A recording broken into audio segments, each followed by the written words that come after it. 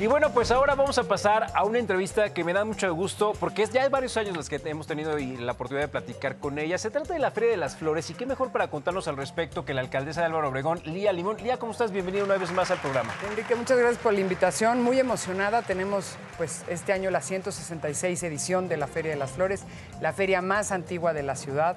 Eh, y pues una feria que la verdad el año pasado nos fue muy bien, tuvimos una afluencia como de 30 mil personas, este año aspiramos a tener 40 mil personas. Y bueno, pues con grandes elencos, eh, con, una, con, muestras con una muestra gastronómica amplia. El año pasado participaron cuatro restaurantes grandes, ahora están entrándole 14, además de muchísimos puestos de comida, con floricultores. El año pasado nos concentramos solo en floricultores del, Álvaro Obregón, ¿no? De Santa Rosa y San Bartolo. Ahora sí vamos a tener floricultores de otras alcaldías como Xochimilco, Milpalta, Tlalpan, eh, Patrimonio cultural de la, humanidad, pero además también esta vez no solo te centras en donde hacían el evento en la, en, la Alameda, sino va a haber algunos, eh, la bombilla, perdón, sino va a haber algunos barrios en donde van a extender todo este festival. Así es, es un festival que se lleva en todo San Ángel, entonces los elencos principales y tal están en la bombilla, pero también tenemos eventos en el Centro Cultural San Ángel, en la Casa del Risco, en la Plaza de San Jacinto, en fin, todo el resto de San Ángel. El, concurso de balcones floridos es pues en, las casas de San Ángel, así es. Entonces, sí, el, concurso de rebozos es en, la Casa de Risco. Entonces, hay sí varias sedes donde tendremos, y también en el Centro Cultural tenemos, tendremos un eh, rico repertorio, tendremos a una pianista este, pues, muy exitosa, Heinemann, que es una joven, muy, muy joven, eh, ya eh, de talla mundial, ya ha dado conciertos en todo el mundo y muy exitosa y así. Este, María Hahnemann se llama. Elia, ¿qué es lo que más eh, te da de satisfacción para, toda la gente que disfruta esto? ¿Qué es lo que tú quieres que, la gente reciba de esta Feria de las Flores? ¿Por qué el esfuerzo? Mira, lo que queremos es que las familias vayan a convivir ¿no? en condiciones seguras, que vayan a disfrutar de un fin de semana donde pueden, pues desde comer ahí, comprar plantas preciosas, que eso, eso la verdad me estimula mucho.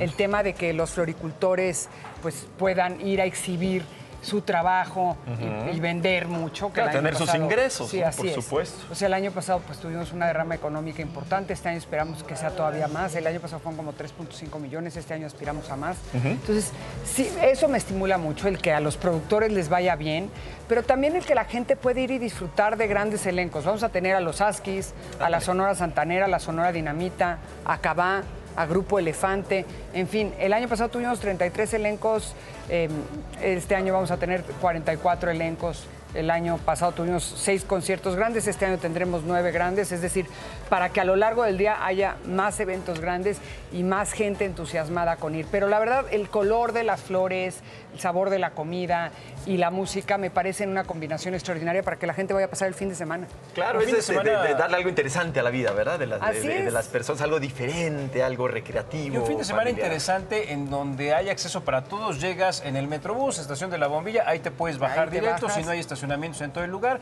¿De qué fechas a qué fechas? Dos fines de semana. Es del 15, sábado 15, este próximo sábado inauguramos, hasta el domingo 23. ¿Cómo te gustaría que lo recorrieran? ¿Se levantan temprano? ¿Qué será? ¿Llegan como a qué hora? Pues a las 11, 12 del día ya empieza ahí la actividad y llegan, la inauguración será a las 12 del día este sábado, y llegan a recorrer, a ver las flores, a ver también los productos derivados de, flores, porque hay, hay productores que llevan productos, por ejemplo, el helado de Dalia, este, Sí, Hay que eh, y varios productos derivados de flores, mermeladas, etcétera, este, que la verdad es que les queda increíble. Y por otro lado, para comer ahí, degustar tanto lo de los grandes restaurantes como lo de los pequeños puestos que también llevan una variedad importante y pues por supuesto quedarse a los conciertos, ¿no?